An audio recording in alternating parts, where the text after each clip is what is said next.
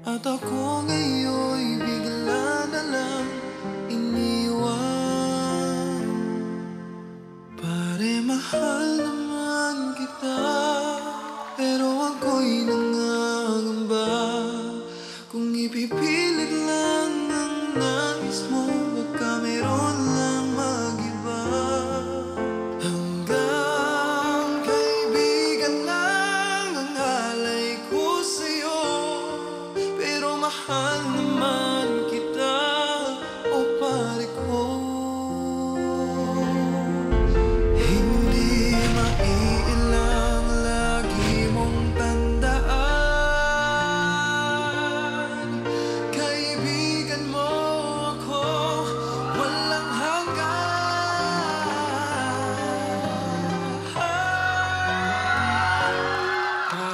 mahal naman kita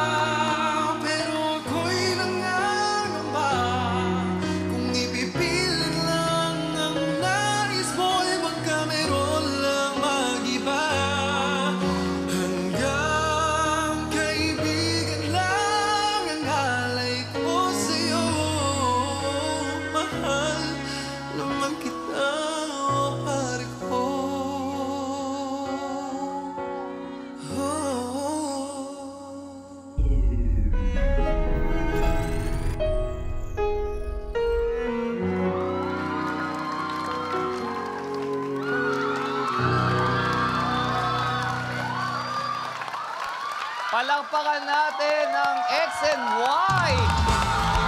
Aba, aba, aba.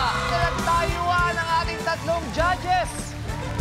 Pero kamusta kayo, Terence, nung best friend mo? Hindi, hindi ba kayo nagkakailangan? O hindi ba siya naiilang sa kanya o naiilang sa As kanya? of now po, hindi pa po kami nagkaka-closure talaga.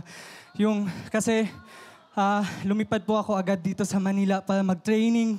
Kasama siya. Okay, ngayon, Terence, bibigyan kita ng pagkakataon. Baka gusto mong kausapin ng iyong best friend, sabihin mo sa kanya kung anong gusto mong sabihin. Alam kong nasasaktan ka ngayon, nasasaktan din ako ngayon. At the end, magiging okay na tayo. Pare, mahal naman kita At syempre ngayon, ano kayo masasabi ng ating mga judges? Tito Boy. Walang kasing ganda pag ang kwento mo sa entablado ay nanggagaling sa katotohanan. Hindi lahat ng emosyon sa storytelling in dance ay nagagawa ng katawan. Ang iba, nagagawa ng mukha. Nakita ko rin yon. Yung passion, nakita ko rin yon. And most important of all, that message that love wins in the end was so strong. I almost cried.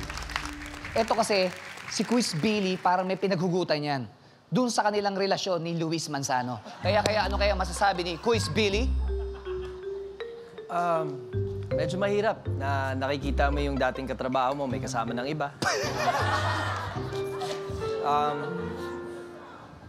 yan yung talaga ang buhay. Pagmahal mo yung isa, pero manhid yung isa, hirap. Pero, pero Quiz Billy, matanong ko lang ha, alam Ano ko masyadong sensitive to. Sino ba yung nagparaya at sino yung nagpaalam? No, I'm starting to believe this, ah. Totoo na pala. Ah, Hindi, mapunta na tayo sa star ng moment na to. Kayo yun.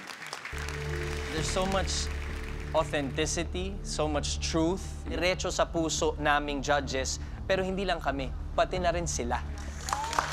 First time lang namin narinig yung audience was so captivated and was so into your performance na sumisigaw sila habang naghihiwalay kayo tapos yayakap kayo, hihiwalay ulit, sumisigaw. They were in your performance. Saludo ako sa inyo. Congratulations, guys. Wow! Thank you, judges!